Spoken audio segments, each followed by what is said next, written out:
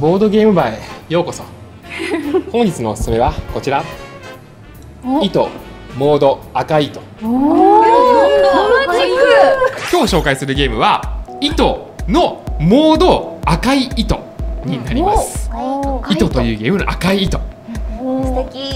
舞台はここはナイトクルーズ豪華客船です皆さんは運命の相手を求めてこのクルーズに参加しました。だから赤い糸なんですね。はだけどもこれピンチが発生してしまって船の船底に亀裂を発見してしまったんですね、うわー。ここから脱出することを目指します。でその船には救命ボートが1隻だけ付けられていました。い一個だけ？しかもそれ1人では動かせないんですね。2人で動かさなければいけませんなので自分ともう一人この中から運命の相手をもう一人見つけ出します。そうして脱出しようっていうのがこの赤い糸というゲームになります。これはね人数多い方が面白いんですよ。なので今回あ。僕も参加させてください。はい。まずはじめにこちらナンバーカード。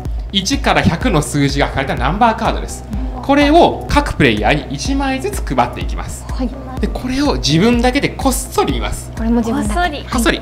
でここには数字が書かれているわけですけどもこの数字の具体的な内容これを声に出して言ってはいけません。そしてやることはこの中からペアを見つけることです。はい。でどうやってペアを見つけるのか。まずはじめにテーマカード。これをこの中で1人スタートプレイヤーを決めてそのプレイヤーがめくります。2枚ペロッと。えい。えい。えい。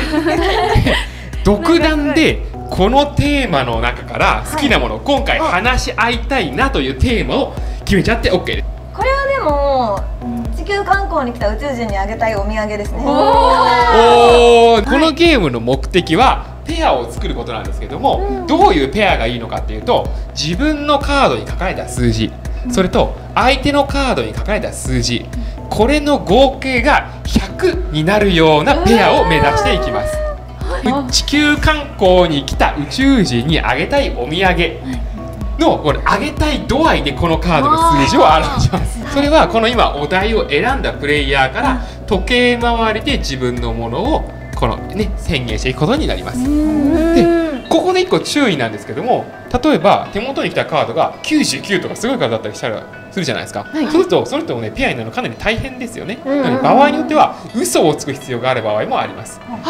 まあねいろいろちょっと条件を考えてみてください。でとにかくペアになって100に一番近ければ OK 裏切りと協力のゲームなので協力しつつ場合によって裏切る必要があるかもね。まあやってみて分かります。なんとしてでも。ね。そうなんとしてもペアになればペアを見つけないとはいはい。はい。えそれは100を超えてしまってもいいということですそれはねもうダメです。100を下回るようにギリギリ。回るようにか。なるべく近く。でも100は超えない。そこを狙います。はいはいはいはい。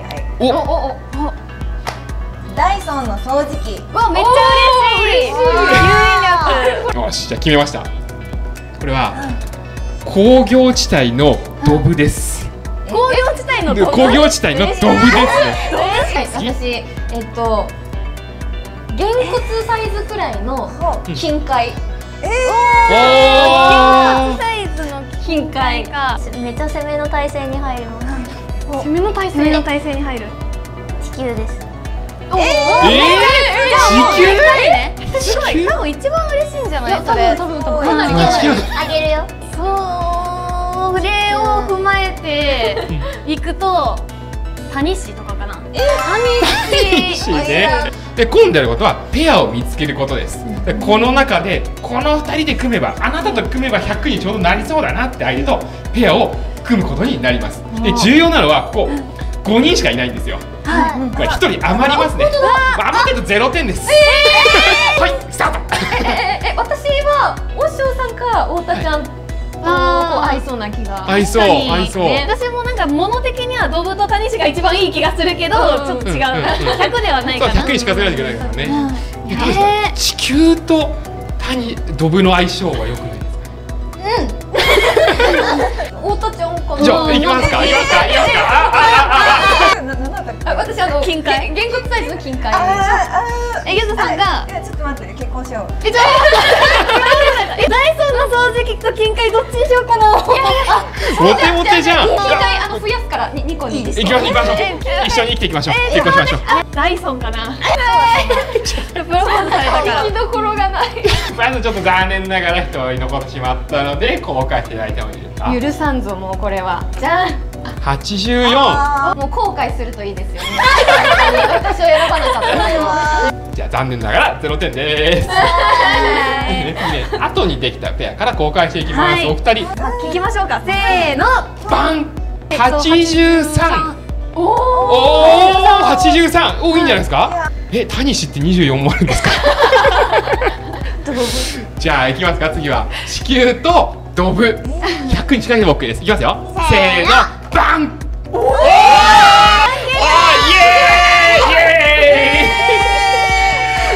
これはもうですね素晴らしい。一生ですね。でもこれしかなかったですよね圧私たちの運命はね。まあまあ多分そういう時に嘘をついたりするといいかもしれない。もう、あ、じゃあ、まず得点計算いってみますね。はいはじめ、じゃあね、一番近かったペア、100に近くて100を超えなかったペアには2点が入ります。両者2点ずつです。このお題カードの2っていうのを手元に持っていきます。はい。でこれで点数がわかると。で次に近かったペア、はい。お二人。はい。には1点ずつ入ります。やったペインペイン。イいエーイ。ペアできないと残念ながら0点。これはもうペアできないなと思ったりしたらもう嘘をついてでも相手100点超えさせて自分と相手で道連れにするとかですね。